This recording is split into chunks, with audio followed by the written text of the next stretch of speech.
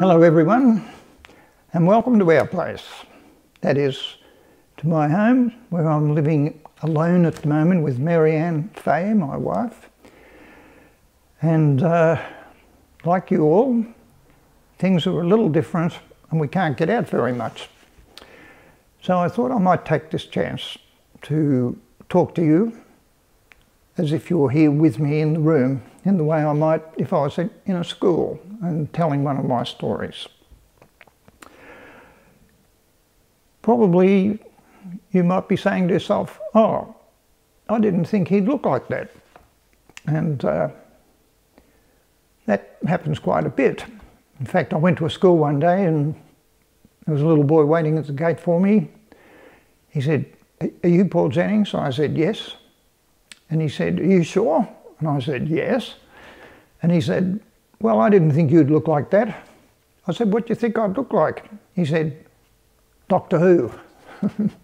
Which I did look like Doctor Who. But anyway, I'm going to tell you a, story this morning.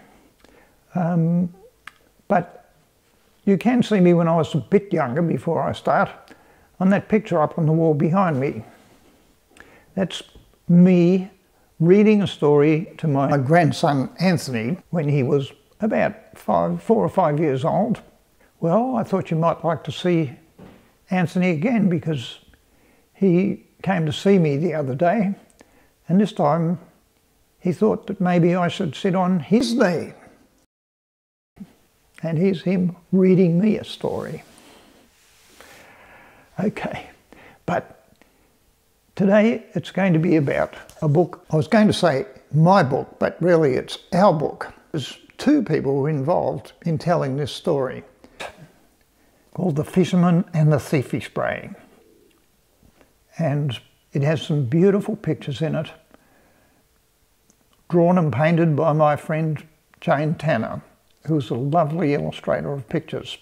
I'm not much good at drawing at all, to be perfectly honest. So I got together with her and I was very lucky to get her. When I sent her the story, I thought, will she do it or won't she do it? Because everyone would like to have Jane Tanner do a painting of their story. But when she read it, she rang me up and she said, I love it, Paul. And uh, I was so pleased. And it's about loneliness. We all feel lonely at times. And I'm calling this little show What's Your Story? Because when we tell our stories to each other, we don't feel quite so lonely and we hear there are other people like us. So here we go. The fisherman and the theefyspray.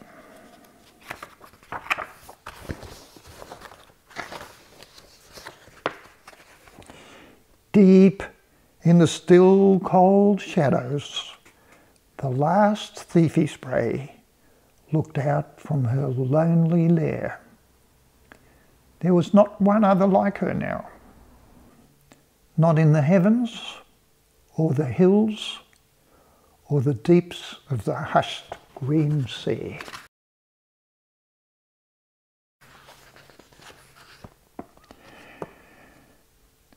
Now, the, imagine you were the only person in the world. It would be pretty lonely, wouldn't it? Well, this theefyspray was the only theefyspray in the world. There were swordfish, there were whales, there were dolphins, but not one other theefyspray. Starfish swarmed, garfish gathered. There were twos, and threes and thousands. But the theefyspray swam alone. When you look at that picture of Jane's, it makes you feel so sorry for the theefyspray, doesn't it? And all the other fish in their groups all swimming away.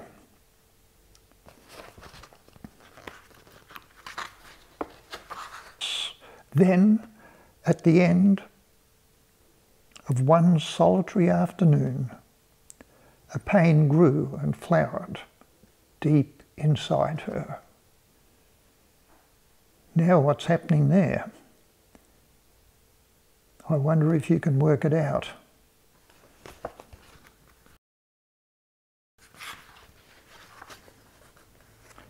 Now, there were two theefysprays. Look at that picture. And Jane is telling something else in that picture besides the fact that the thiefy sprayers had a baby. If you look closely in the picture, you can see something above them both. And it's a boat. And Jane is telling us with her painting there that maybe there is something to worry about. And in most stories, there is something to worry about. That's what stories are usually like. Everything's not easy. They hunted together, mother and child. The baby was always hungry. Now look at that picture again. And Jane's also put something there with it. I don't have to tell you to look and see. You can see what's there because besides reading the words, you read the picture and look. What's that hanging down? It's a hook. And now, when we turn the page, oh no, no, no, there's no words needed from me. You look at at Jane's beautiful drawing and you can see what's happening. The thiefy's little baby thiefy's brain has its mouth open and it's going for the piece of bait on the hook. Now we turn the page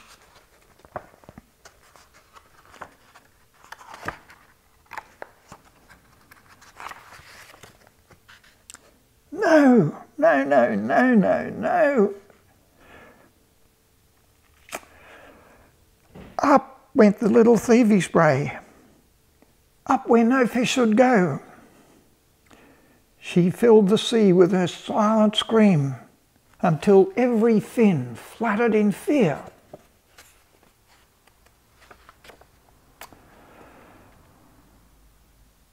My goodness, when I saw that drawing, I felt my heart start to beat faster. Up went the mother.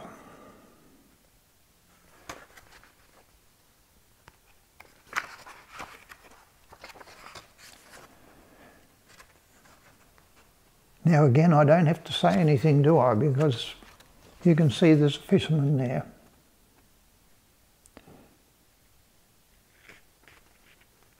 And he's caught the little theefyspray and the mother's splashed up out of the water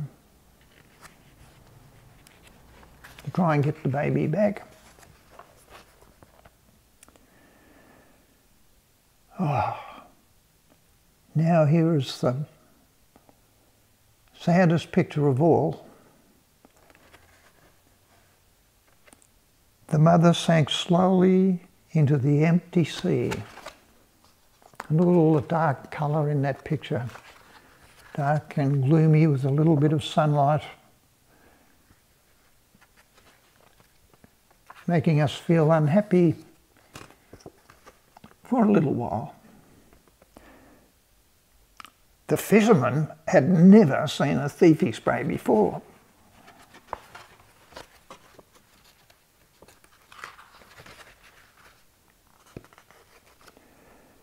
He wanted to show this strange, beautiful creature to his friends.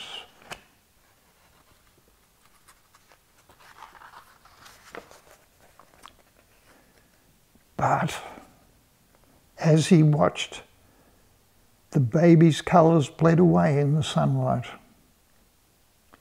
The old man felt sad, sorry, ashamed. He remembered the mother's shining scales and flashing fins.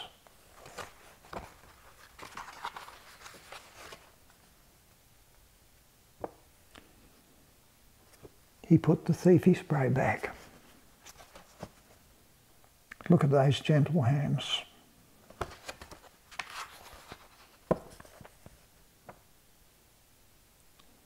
And went home with an empty basket.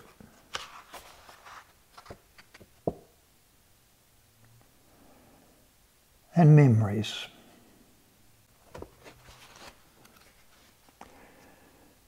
So our story has a happy ending. This lonely mother still has her little baby and he's been returned.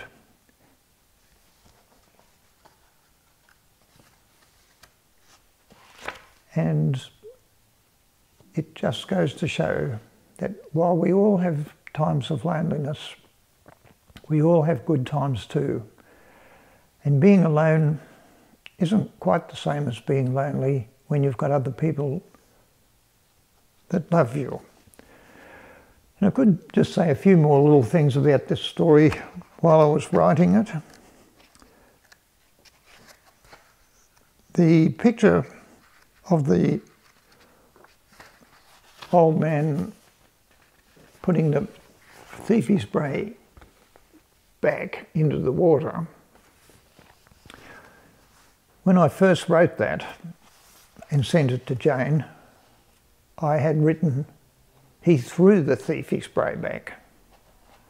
And Jane rang me up. She said, Oh, no, no, no, no, no, Paul. He didn't just go and throw the fish back. He gently put it in the water.